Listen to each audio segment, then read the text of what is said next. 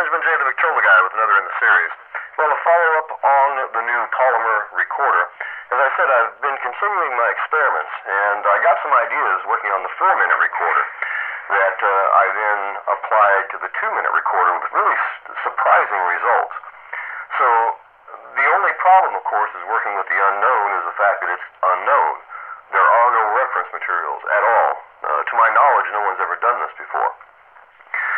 With these polymers, and there's so many different kinds of polymers available, and of course, the only way to see if they're going to work as a diaphragm for a recorder is to try them.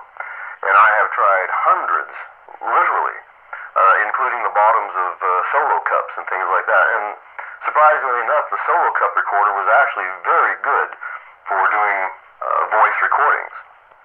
It didn't work all that great for music, but for doing acoustic voice recordings, it was just absolutely outstanding. So any, in any case, I uh, took some of the principles uh, that I've been working on with the four-minute recorder, applied them to this new two-minute recorder, and as I said, it is it is incredibly efficient.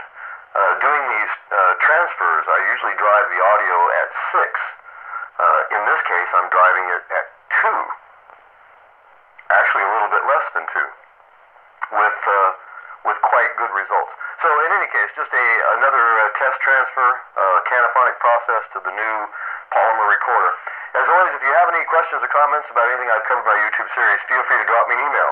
The Victrola Guy at gmail.com. Answer all my emails. Try to answer today. I get it. Uh, but again, if you have any questions, feel free to drop me an email. The